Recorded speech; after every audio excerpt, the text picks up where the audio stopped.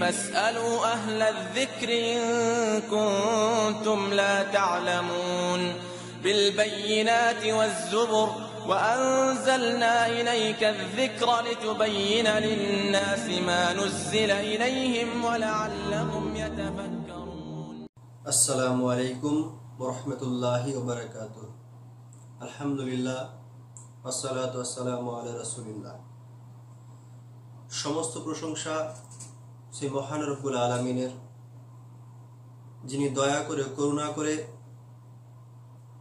আমাদেরকে মুসলিম ঘরে জন্মগ্রহণ করিয়ে সঠিক ইসলামকে নিজেদের সামর্থ্য অনুযায়ী বোঝার এবং মেনে চলার তৌফিক দান করেছেন এবং পরিপূর্ণ জীবন ব্যবস্থা, পরিপূর্ণ ঐশী জীবন ব্যবস্থা আমাদের নিকট প্রেরণ করে সেটা আমাদেরকে উপলব্ধি করার তৌফিক দান করেছে। সেই সঙ্গে সঙ্গে দরুদ ও তসলিম প্রেরিত হোক শেষ নবী জনাবে মোহাম্মদ মুস্তফা সাল্লাহ আলী ওসাল্লামের প্রতি। এবং কেয়ামত অবধি তার সমস্ত উম্মতের প্রতি যারা কোরআন এবং হাদিসের অনুসারী বর্তমানে, অতীতে এবং ভবিষ্যতে আমরা এই সম্বন্ধে সকলেই জ্ঞাত যে ইসলাম আল্লাহর একমাত্র মনোনীত জীবন ব্যবস্থা, একমাত্র মনোনীত দিন। ইসলাম ধর্ম প্রকৃতপক্ষে প্রচলিত ধর্ম বলতে আমরা যা বুঝি তা নয়।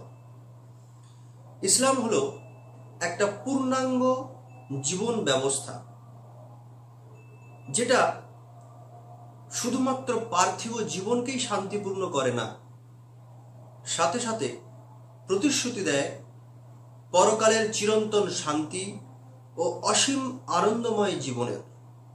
এবং বিলুপ্তি ঘোষণা করে অন্যান্য সকল ধর্ম ও মানব মস্তিষ্ক প্রসূত মতবাদের। কারণ, একমাত্র ইসলাম ধর্মেই রয়েছে অবিকৃত ঐশী ধর্মগ্রন্থ এবং সমৃদ্ধ ইতিহাসের সুস্পষ্ট প্রমাণাদি পৃথিবীর যে কোনো প্রান্তে যখনই ইসলামের আগমন হয়েছে, তখনই সেই স্থান হতে উৎখাত হয়েছে বাতিল তন্ত্র, মন্ত্র, মতবাদ। নিপীড়িত মানব জাতি মুক্ত হয়েছে অত্যাচারী শাসকের দাসত্ব থেকে। বিরাজ করেছে ন্যায়, বিচার ও শান্তির এক অমোঘ বাতাবরণ। কিন্তু বর্তমানে আমাদের নিজেদের মধ্যে পরিপূর্ণ ইসলামের অভাবের কারণে ইসলামিক সঠিক জ্ঞান ও বোধ অনুপস্থিত থাকার কারণে সর্বোত্তম জাতি আকারে প্রেরিত হয়েও আমরা নিজেদেরকে মূর্খ ও নিকৃষ্ট জাতিতে পরিণত করে চলছি। জীবনের সর্বস্তরে শাশ্বত সত্য, ইসলামের জ্ঞান অর্জন ও তার বিধিবিধানের অনুসরণ বাস্তবায়ন না করার কারণে বর্তমান বিশ্বে মুসলিমরা লাঞ্ছিত, অবহেলিত, পদদলিত এবং কাফেরদের ষড়যন্ত্রের শিকার। ইসলামের স্বর্ণালী যুগেও আমরা জানি ইসলামের শত্রুদের চক্রান্ত তখনও অব্যাহত ছিল। ইসলামের স্বর্ণালী যুগ। সুতরাং বর্তমানে যে ইসলামের শত্রুদের কৌশলাদি বিদ্যমান থাকবে না এই নিয়ে কোনো সন্দেহই নেই যে সেটা কেয়ামত পর্যন্ত চক্রান্ত উপস্থিত থাকবে ইসলামকে ধ্বংস করার কাজে লাগার জন্য। কিন্তু ইতিহাসে আমরা যেমন দেখেছি, ইসলামের স্বর্ণালী যুগে আল্লাহর কৃপায় ইসলামের বিধান তখন সর্বস্তরে বহাল থাকায় কাফেরদের যাবতীয় চক্রান্ত ব্যর্থ হয় এবং সর্বসমক্ষে উন্মোচিত হয় ষড়যন্ত্র সমূহ যুগে যুগে ইসলামের শত্রুরা পৃথিবী থেকে আল্লাহর নূর তথা ইসলামকে ধ্বংস করতে চেয়েছে। এবং আজও তারা এই মহাসত্যকে ধ্বংস করতে খড়গহস্ত। অথচ আমরা মুসলিমরা এ সম্বন্ধে কিছু জানি না, এ সম্বন্ধে জ্ঞান অর্জন করি না। এবং আমাদের উলামাগণ সঠিক ইসলামকে বোঝাতে ব্যর্থ। এবং ইহুদি খ্রিস্টানদের মহা ষড়যন্ত্র সম্বন্ধেও আমরা অজ্ঞ। এক্ষুনি আল্লাহ সুবাহতালার সন্তুষ্টি অর্জনের উদ্দেশ্যে ইসলামের অস্তিত্ব টিকিয়ে রাখার জন্য আমাদের উচিত উন্মুক্ত হৃদয় নিয়ে প্রকৃত ইসলামিক জ্ঞান অর্জন করা, ইসলামকে জানা, বোঝা এবং ইসলামের নীতিমালা সমূহকে শুধুমাত্র অধ্যয়ন না করে সেগুলো জীবনের সর্বক্ষেত্রে বাস্তবায়ন করা এবং কাফেরদের বিধ্বংসী ষড়যন্ত্র সমূহ সম্বন্ধে সচেতন হয়ে তার প্রতিকারের উপায় খোঁজা। দেশীয় তথা আন্তর্জাতিক অনৈসলামিক শক্তি ইসলামকে পূর্ণাঙ্গ জীবন ব্যবস্থা হতে পরিপূর্ণ দিন থেকে বিচ্যুত করে ইহুদি খ্রিস্টানের মতো একটা নিছক আচার অনুষ্ঠান সর্বস্ব ধর্মে রূপান্তরের মাধ্যমে ইসলামের সামগ্রিক রীতিনীতি বিসর্জন দেওয়ার জন্য সর্বাত্মক প্রচেষ্টা চালিয়ে যাচ্ছে। এবং এর জন্য সব থেকে বেশি ক্ষতিগ্রস্ত হয়েছে দুই প্রকারের মানুষের দ্বারা। দুই শ্রেণির মানুষ সর্বদা ইসলামকে সর্বাত্মকভাবে ক্ষতি করেছে। তারা হলো এক নম্বরে হচ্ছে শাসক সম্প্রদায় এবং এক শ্রেণির আলেম সম্প্রদায়। সব শ্রেণির আলেম নয়, এক শ্রেণির আলেম সম্প্রদায়, যাদেরকে আমরা উলামায়ে সু নামে আখ্যায়িত করে থাকি। ইসলামের এই শত্রুরা সর্বদাই নিজেদেরকে ব্যস্ত রেখেছে, নিজেদেরকে নিয়োজিত রেখেছে মুসলিম জাতিকে, ইসলামকে ধ্বংসের উপায় অনুসন্ধান ও তার প্রয়োগের কাজে। ইসলামের শুরু থেকে তারা যুদ্ধ বিগ্রহের মাধ্যমে ইসলামকে শেষ করতে চেয়েছিল। এবং বর্তমানে এর সঙ্গে যুক্ত হয়েছে ইহুদি খ্রিস্টানদের অশ্লীল কৃষ্টি কালচার এগুলোর অনুপ্রবেশ ঘটিয়ে তারা মুসলিমদেরকে পঙ্গু করতে চায় বা বলা বাহুল্য পঙ্গু করেও দিয়েছে অনেকাংশে। ইহুদিরা তাদের ছেলে মেয়েদের মধ্যে যৌন মেলামেশাকে অবাধ করে দিয়েছে। Free permission for free sex আজ অসংখ্য মুসলিম পরিবার এই সংস্কৃতি গ্রহণ করে নিয়েছে।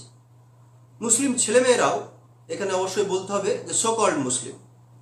তো মুসলিম ছেলেমেয়েরাও এখন নিজেদের পছন্দ মতো জীবনসঙ্গী নির্বাচন করছে, অবৈধভাবে অবাধ মেলামেশা করছে, নাচ, গান, সিনেমা, বিভিন্ন অশ্লীলতার মধ্য দিয়ে আমোদ প্রমোদ বিনোদনে অবসর সময় অতিবাহিত করছে। বর্তমানে মুসলিমদের একটা বৃহৎ অংশ ইসলাম থেকে সরে গেছে। আর এই চক্রান্তকে বাস্তবায়িত করার কাজে উঠে পড়ে লেগেছে বিভিন্ন social media, television, magazine newspaper internet সরসো অন ইসলামিক শক্তিগুলি শুধুমাত্র পশ্চিমী সংস্কৃতি, নারী ও নেশা জাতীয় দ্রব্যের মাধ্যমেই মুসলিমদেরকে ইসলাম থেকে বিচ্ছুত করেনি। মুসলিম জাতিকে দুর্বল ও মেরুদণ্ডহীন করে ধীরে ধীরে শেষ করে দেওয়ার জন্য ইসলাম ধর্মের মধ্যে অনুপ্রবেশ ঘটিয়েছে ভ্রান্ত মতবাদের বিভিন্ন কুসংস্কারের এবং সৃষ্টি করেছে বিভিন্ন ফিরকা, দল, মাঝহাবের। অন ইসলামিক রীতিনীতির অনুপ্রবেশ ঘটানো ছাড়াও তিনটে আরও উপায়ে তারা ইসলামের ক্ষতি সাধন করেছে এবং এখনও সেই ক্ষতি সাধন সংগঠিত করে চলেছে। এখনও সেগুলো বিদ্যমান। সেই তিনটি বিষয় কি কি যেগুলো ইসলামের ক্ষতি সাধনকারী?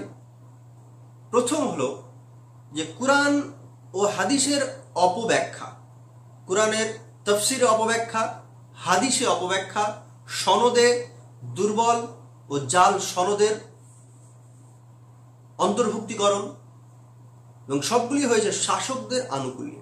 এটা প্রথম কারণ যে শাসকদের আনুকূল্যে কোরআন হাদিসের অপব্যাখ্যা। দ্বিতীয়, নিজেদের তৈরি করা নতুন নতুন আমল, যেটাকে শরিয়ার পরিভাষায় বিদাত বলে আখ্যায়িত করা হয়, যেটা ধীরে ধীরে জাহান নামের দিকেই নিক্ষিপ্ত করে। এবং তৃতীয়, জাল হাদিসের প্রণয়ন ও তার বাস্তবায়ন সমাজের মধ্যে। তো এক শ্রেণির আলেম আছেন, তারা তগুদদের সন্তুষ্টার্থে কোরআন ও হাদিসের অপব্যাখ্যা করে সাধারণ মুসলিমদেরকে ভ্রান্ত পথে পরিচালিত করছে। লক্ষ লক্ষ জাল হাদিস আর মন গড়া নতুন নতুন বিদাত নতুন নতুন আমল তৈরি করে সেগুলো মুসলিম সমাজে ছড়িয়ে অজস্র মুসলিমের ইমান আকিদাকে ধ্বংস করেছে এবং আজও করে চলেছে। আর আমরা মুসলিমরা খুব সহজেই তাদের পাতা পা, ফাঁদে পা দিয়ে নষ্ট করছি নিজেদের আখেরাত এবং দুনিয়াকেও। ধ্বংস করে চলেছি মহামূল্য সম্পদ ইমানকে আসলে প্রকৃত ইসলামিক শিক্ষা থেকে আমাদের দূরে থাকাই হলো এই বিচ্যুতির প্রধান কারণ, ইমান হানির প্রধান কারণ। যেখানে আল্লাহ সুবহান তালা ও রসুল সাল্লাহ সাল্লাম বারে বারে আমাদেরকে সতর্ক বার্তা ও হুঁশিয়ারি দিয়ে গিয়েছেন। মুসলিম শরীফের একটি হাদিস, যেটা মুসলিম শরীফের তৃতীয় খণ্ডের সাতাত্তর পৃষ্ঠায় রয়েছে, যে যদি কেউ এমন আমল করে যেটা নির্দেশ রসুল সাল্লা সাল্লাম দেননি, সেই আমল প্রত্যাখ্যাত। অর্থাৎ রসুল সাল্লাম নির্দেশ দেননি, এমন আমল, তার অনুমোদন বিহীন আমল, ইবাদত, সবগুলোই বাতিল। সেগুলো কোনোটাই গ্রহণযোগ্য হবে না আল্লাহ সুবাহতালার কাছে। আল্লাহ সুবাহতাল্লাহ বলেন যে সুরা ফুরকানের তেইশ নম্বর আয়তে উল্লেখিত আছে যে, আমি তাদের কৃত আমলগুলোর কাছে যাব, অতঃপর তাদের সমস্ত আমলগুলো বিক্ষিপ্ত ধূলিকণার উপর নষ্ট করে দেব। এরা কোন আমলকারী? এখানে কোন আমলকারীদের সম্বন্ধে আল্লাহ সুবাহতাল্লাহ সতর্কবার্তা দিয়েছেন। এখানে সেই আমলকারী ব্যক্তিকে ইঙ্গিত করে বলা হয়েছে, যারা ইবাদত করে আমলের পাহাড় জমা করেছেন লোক সমাজে প্রদর্শনের জন্য। অথচ রসুল সাল্লা সাল্লামের নির্দেশিত পথ, পদ্ধতি, পন্থা অনুযায়ী করেনি বা অন্ধভাবে কোনো বুজুর্গ, কোনো মুরব্বী বা বাপদাদা চোদ্দ পুরুষদের অনুসরণ করে আমল করেছিল, কোনো রূপ যাচাই বাচাই ছাড়াই। সই বুখারি ও সই মুসলিমে একটি ভয়ঙ্কর সতর্কতামূলক হাদিস উল্লেখিত আছে। রসুল সাল্লাহ সাল্লাম বলেছেন যে, যারা যে ব্যক্তি প্রমাণবিহীন আমল করল, সেই আমলকারীকে আশ্রয় দিল, আল্লাহ সুবাহতাল্লাহ তার কোনো ফরজ ইবাদত কবুল করবেন না, তার কোনো নফল ইবাদত কবুল করবেন না। এটা মুসলিম শরীফের তৃতীয় খণ্ডের চারশো একচল্লিশ পৃষ্ঠায় বিদ্যমান। পবিত্র কোরআনে আল্লাহ সুবাহতাল্লাহ সুরা গাছিয়ার তিন এবং চার নম্বর আয়তের মধ্যে উল্লেখ করেছেন যে কিছু আমলকারী হবে ক্লিষ্ট, ক্লান্ত, তারা জ্বলন্ত আগুনে পতিত হবে। অর্থাৎ কোনো ব্যক্তি সারা জীবন আল্লাহর ইবাদত করে ক্লান্ত, পরিশ্রান্ত হয়ে গেছে। শরীরে হয়তো আর কোনো ক্ষমতা অবশিষ্ট নেই। অথচ সেই ইবাদত সমূহ রসুল সাল্লা সাল্লামের অনুমোদনকৃত ছিল না।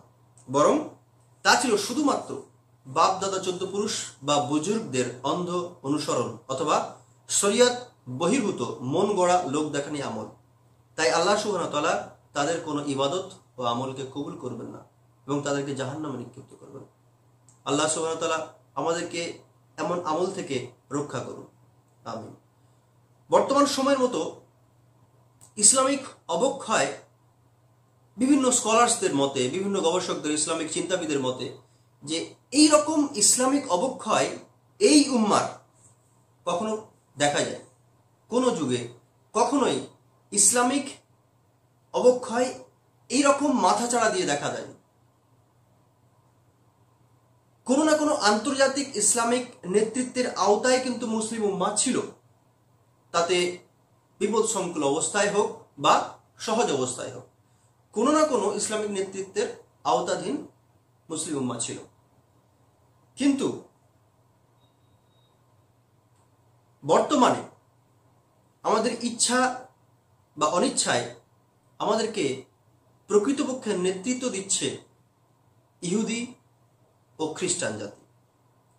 সেটা অনেকে হয়তো স্বীকার করতে অপারক কিন্তু যদি আমরা একটু ডিপ ইনভেস্টিগেশন করি, তাহলেই এটা সুস্পষ্টভাবে প্রমাণিত হবে যে আমাদের নেতৃত্ব সরাসরিভাবে ইসলামিক নেতা দ্বারা হচ্ছে না।